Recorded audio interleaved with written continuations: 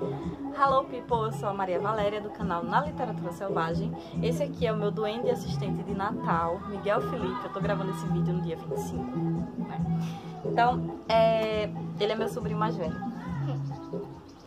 Ele hoje veio ajudar a titia com os livros, com as pilhas de livros. Então, eu tô trazendo pra vocês hoje as últimas aquisições que eu tinha feito em 2018, encerrando esse ciclo de livros atrasados, de caixa de correio atrasada. É, eu vou inicialmente mostrar três livros que eu ganhei, mas eu não lembro em que mês respectivo, mas eu sei que foram em 2018. Né? O primeiro deles foi o Sinfonia para Vagabundos, do Raimundo Carreiro. Eu já li esse livro e tem resenha dele lá no blog, eu posso deixar aqui na caixa de descrição o link para vocês conhecerem um pouquinho a respeito dessa história. Foi minha estreia com o autor, com esse autor que é pernambucano, e assim, é maravilhoso. Vocês precisam conhecer a obra de Raimundo Carreiro. E ele ainda é vivo, tá, gente? Ele já é um idosinho, super simpático. Eu tive o prazer de conhecê-lo um dia desses, durante as minhas andanças pelo Recife. Fui tietar um pouquinho, claro, mas eu não estava com o livro na hora para que ele autografasse, né? Mas, enfim, quem sabe numa próxima oportunidade. Mas esse livro é maravilhoso, eu super recomendo e muito obrigada, Clívia, por ter me dado ele de presente. Segura aqui meu assistente. Esse outro aqui é do Juan Carlos Onetti, A Vida Breve. Esse autor é um escritor, né, latino-americano. E assim, eu não li ainda, mas eu tô bem curiosa porque essa premissa dele, essa capa maravilhosa, me deixou com muita vontade de ler. Mas apesar de ter sido em 2018, eu não consegui fazer isso ainda.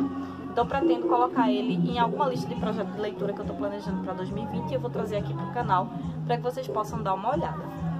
Por último, mas não menos importante, dos livros que eu ganhei, um amigo meu que viajou para a Europa me trouxe Lance, que é uma edição em inglês do Vladimir Nabokov, que é o mesmo autor do polêmico Lolita.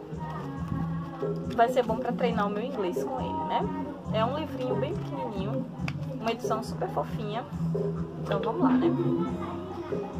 E agora a gente vai para os livros que eu troquei, que eu comprei baratinho e por aí vai. Na verdade, olhando a, a, lista aqui, eu acho que só tem dois, três, que eu não comprei da mesma pessoa. E eu vou falar sobre eles agora.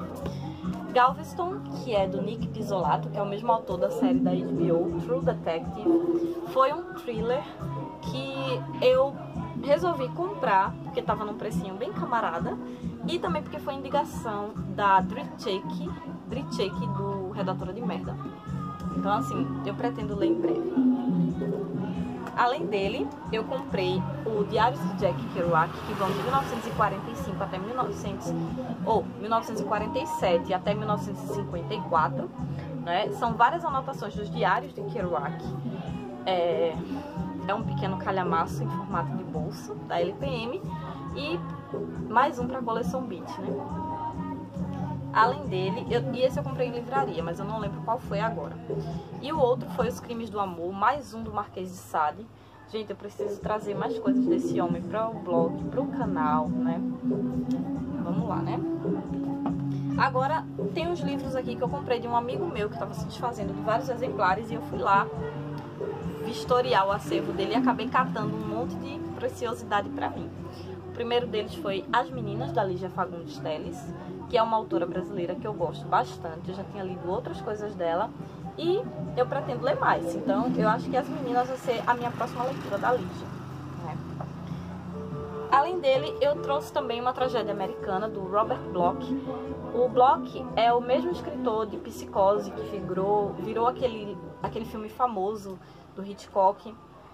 Então, assim, é, essa edição aqui é da editora Record ela é bem antiguinha. Eu adoro essas edições da, da editora que são bem antigas, dos anos 60, 70 e tal. E eu não resisti, eu achei a premissa dele interessante. Eu disse, ah, então vou levar, quem sabe, né? Além dele, segura aqui do Andy, assistente.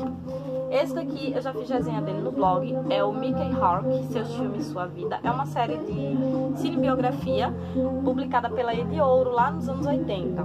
Esse, esse autor, esse ator é um dos meus preferidos da década de 80. Ele tem, tem vários filmes dele que eu sou completamente apaixonada, né? Então, assim, Selvagem da Motocicleta, Nove Meia Semanas de Amor, Coração Satânico, Bearfly. Então, assim, eu super recomendo. Inclusive, recentemente eu consegui outro livro falando sobre a vida dele, mas aí vai ficar para uma série de livros de Book Hall de 2019, né? Porque esse aqui, vão frisar, ainda de 2018, mas é o último, eu prometo. Esse som terrorífico não é de minha responsabilidade, então me perdoe por essa sonoplastia mal intencionada no meu vídeo. Esse daqui, que eu acabei de rasgar a capa, é de um escritor alemão, o Heinz G. Konsalik, é, a heroína das steppes. Eu gostei desse livro pela premissa dele, me atraiu. Eu achei a capa bonita, esteticamente falando, assim, bem harmoniosa. E eu pensei, vou levar, tava baratinho por 3 reais. É um escritor alemão, eu tô querendo ver, conhecer mais coisas da, dos autores alemães, porque para quem não sabe, eu tô aprendendo o idioma. Então pensei, por que não, né? Vamos levar. Peguei mais um do Arthur C. Clarke, que é um autor de ficção científica que eu gosto bastante. Esse aqui é o Contos da Taberna, do, uma coleção do Mundo Fantástico. Também uma edição bem antiguinha. E eu pensei, por que não? Né? Se eu gostar, ótimo. Se eu não gostar, eu passo pra frente, não tem problema.